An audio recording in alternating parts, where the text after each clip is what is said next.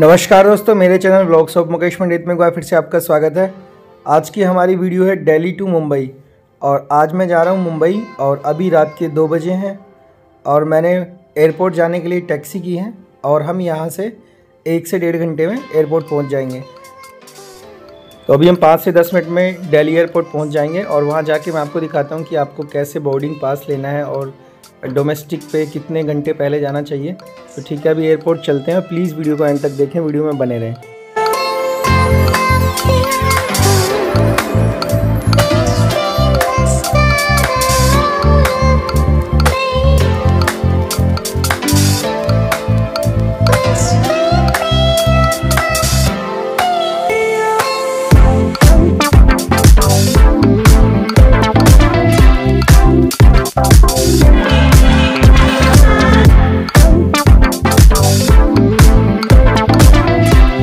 तो अभी हम एयरपोर्ट आ चुके हैं और डोमेस्टिक फ़्लाइट लेने के लिए वैसे मिनिमम आपको टू आवर्स और थ्री आवर्स पहले जाना चाहिए।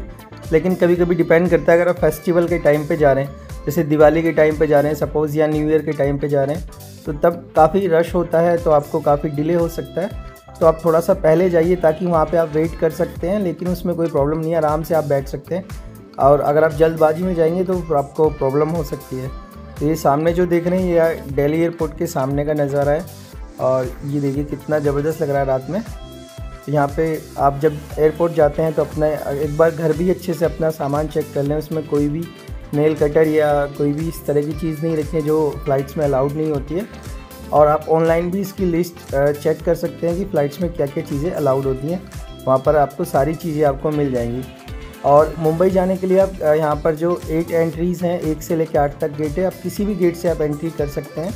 और मिनिमम थ्री आवर्स पहले यहाँ पे एंट्री हो जाती है। और जैसे आप अंदर जाएँगे तो ये सामने आपको दो हाथी दिखेंगे और ये अंदर का दिल्ली एयरपोर्ट का व्यू है सामने का, जो कि देखने में बहुत अच्छा लगता है सामने। यहाँ पर बहुत सारे काउंटर्स भी आपको मिल जाएँगे, जिन पे आप करेंसी चेंज कर सकते हैं अगर आप आउट ऑफ़ कंट्री जाते हैं तो। अभी हम अपने ही देश में जा रहे हैं तो उसकी कोई ज़रूरत नहीं है। तो यहाँ पर सबसे पहले आप जिस फ़्लाइट का आपका टिकट है आप वहाँ पर उनके काउंटर किसी से भी पूछ सकते हैं, कोई भी बता देगा। वहाँ पर जाकर आप बोर्डिंग पास लें उनसे पूछें कि आपकी फ़्लाइट का टाइम है।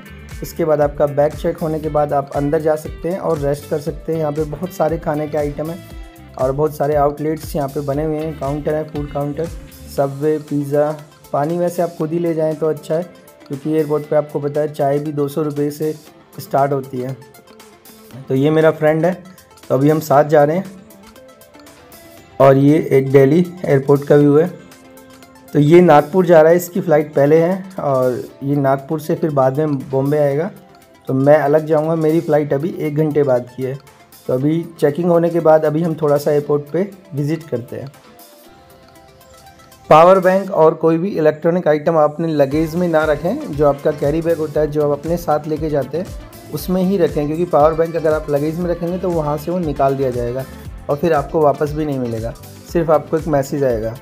तो इसलिए आप पावर बैंक और हेडफोन इस तरह की चीज़ें अपने जो छोटा कैरी बैग होता है या जो आपका जो बैक पैक होता है, उसी में रखें।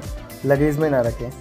तो ये देखिए दिल्ली एयरपोर्ट का ज़बरदस्त व्यू और यहाँ पे बहुत सारे शॉपिंग के लिए ऑप्शंस हैं। तो आप यहाँ पे शॉपिंग भी कर सकते हैं। हालाँकि बहुत कॉस्टली होती है। तो ये सामने जो आप देख रहे हैं स्पाइस जेट तो मैं दिल्ली से मुंबई जा रहा हूँ स्पाइस जेट के थ्रू और जिसका जो टिकट है, वो है four thousand six hundred rupees और फ़्लाइट्स के लिए आप ऑनलाइन बहुत सारी साइट्स हैं वहाँ पर आप चेक कर सकते हैं। जितना दिन आप पहले बुक करते हैं, उतना ही आपको सस्ती फ़्लाइट मिलती है। हाँ अगर आप किसी ऑफ़िस के थ्रू जा रहे हैं, तब आपको फ़्लाइट्स सस्ती और महँगी की टेंशन नहीं होती है।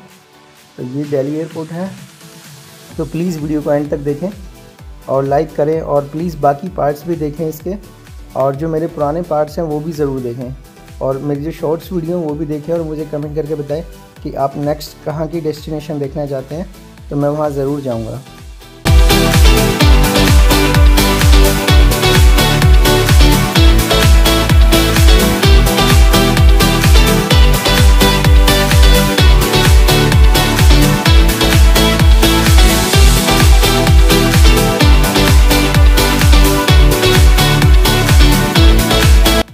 आपकी टिकट पे जो गेट की एंट्री का नंबर लिखा होता है, वो आप डिस्प्ले पे देख सकते हैं और वहीं पे आप गेट पे जाके आप जा सकते हैं। तो अभी जो हमारी फ़्लाइट है, वो काफ़ी दूर खड़ी हुई है।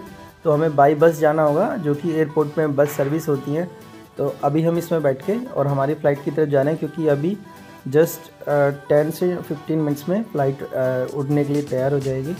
तो चलिए चलते हैं फ़्लाइट की तरफ़।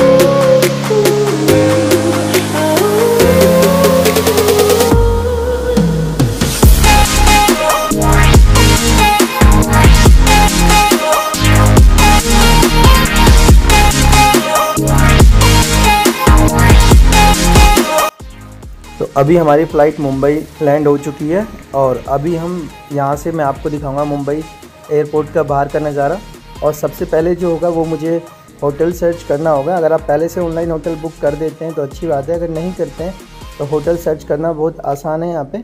तो अब मैं आपको बाहर की तरफ़ लेके चलता हूँ और मैं दिखाता हूँ कि आप होटल कहाँ पे ले सकते हो, किस बजट में आप होटल ले सकते हैं।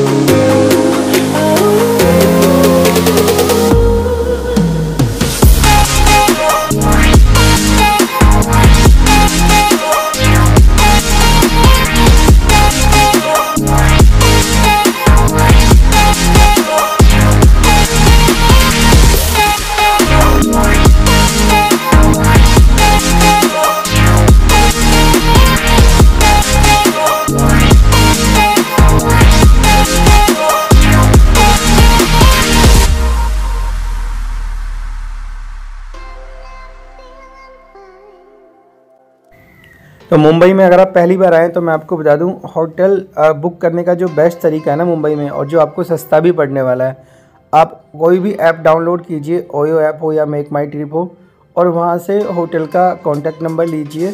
ऑनलाइन पे नहीं करना है, और आप डायरेक्ट वहाँ पे बात करके, और वहाँ पे आप जाके, तब आप खुद से आप वहाँ पे होटल लीजिएगा। और आप ऑटो में या फिर ऑटो में जाते हैं तो वहाँ पे आप मीटर चेक करें, क्योंकि वहाँ पे मीटर चलता है। और इसके अलावा आप सबसे बेस्ट ऑप्शन है कि अगर आप सिंगल हैं तो आप ऑनलाइन रैपिडो बाइक वहाँ पे चलती हैं ऊबर बाइक चलती हैं, वो आप करें, वो सस्ता पड़ता है। तो उसके थ्रू आप जाके खुद ही प्रॉपर्टी पे आप पे करें।